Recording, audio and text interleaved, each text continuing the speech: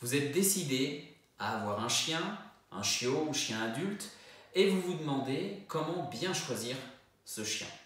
Regardez bien cette vidéo jusqu'au bout. Je vous donne quelques conseils afin de faire le bon choix et de pouvoir ainsi prendre un bon départ avec votre nouveau compagnon de vie.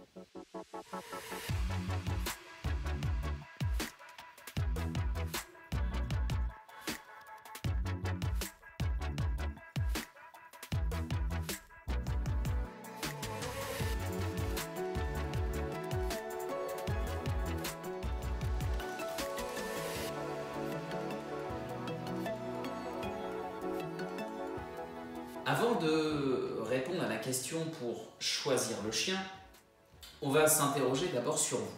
Effectivement, avant de choisir le chien qui vous correspond, il faut se demander quel maître je suis.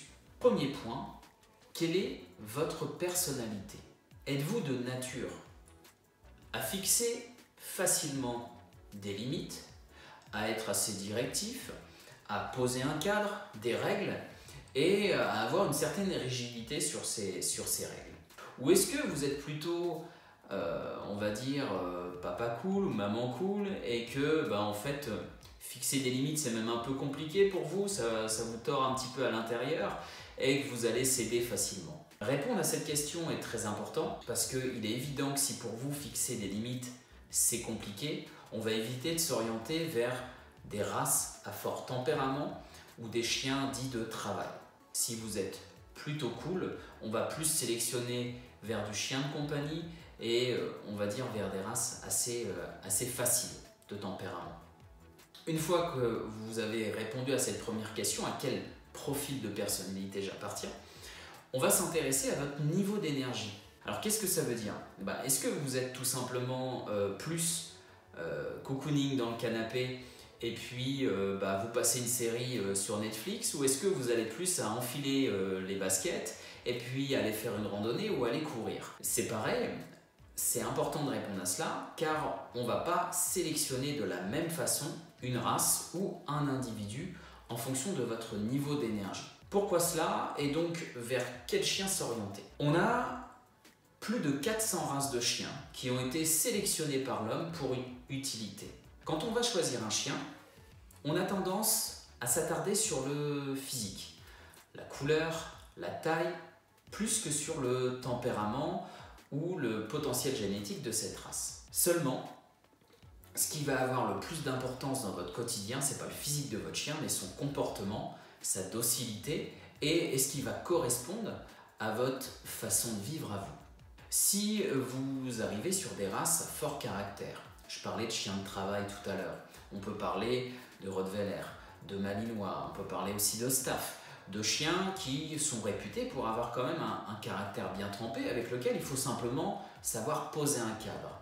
Et que vous êtes plus du genre câlin, pas forcément poser de limites, avoir envie de laisser euh, le chien faire comme il le souhaite dans la maison, ben, vous risquez de rencontrer davantage de soucis avec ce type de race. Maintenant, tous les chiens ont besoin d'un minimum de, de, cadre, mais ces races-là particulièrement. Pour ce qui est du niveau d'énergie, quand on choisit un chien, on va plutôt parfois entendre des gens dire bah, Moi, j'ai pas beaucoup de place, puis je prends un petit chien, ça réclame moins d'exercice. Est-ce que vous pensez vraiment qu'un Jack Russell a besoin de moins d'exercice qu'un canet corso ou qu'un bouvier bernois? La taille du chien ne signifie pas forcément que cet individu aura besoin de moins d'exercice. Il faut s'intéresser au niveau d'énergie de votre futur chien.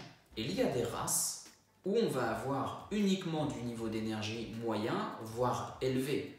C'est le cas chez Jack Russell.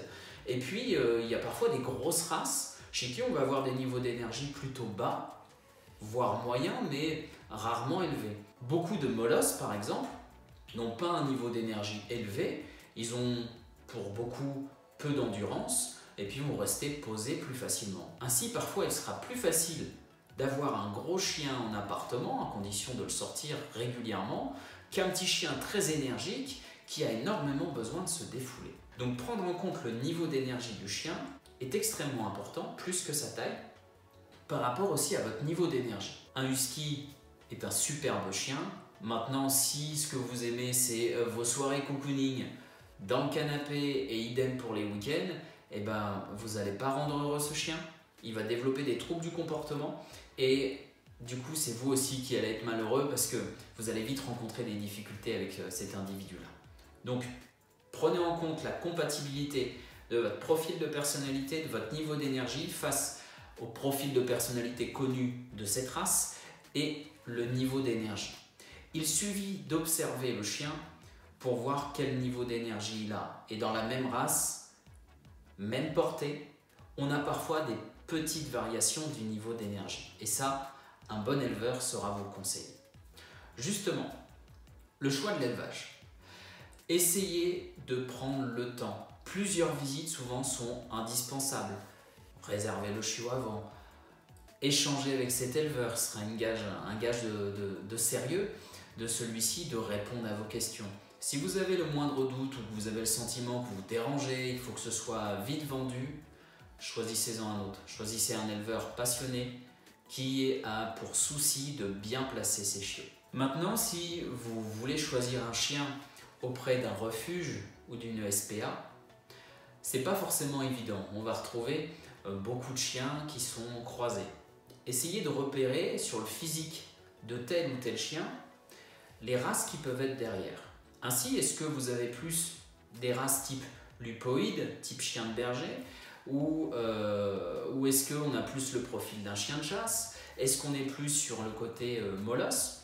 Le refuge sera aussi vous orienter à peu près, vous dire approximativement euh, à quelle race on a affaire ou à quel croisement on a, on a affaire. Une fois que vous avez connaissance de ces potentielles races qui sont dans le, sang de, ce chien, ce potentiel génétique, vous allez aussi pouvoir observer son attitude. Il suffit de jeter un coup d'œil autour de vous pour vous rendre compte que les chiens présents ont différents niveaux d'énergie et que certains vont réclamer plus d'exercice physique que d'autres.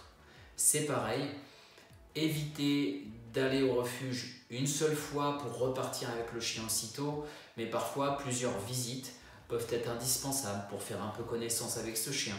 Peut-être que le refuge vous permettra de le prendre un peu en laisse, dans un parc à part, voir un peu la compatibilité et euh, si ça matche bien avec euh, cet individu. Vous comprenez donc que choisir un chien demande une certaine réflexion sur soi-même et de se projeter. Cela est indispensable si vous voulez vivre de bons moments avec votre futur compagnon.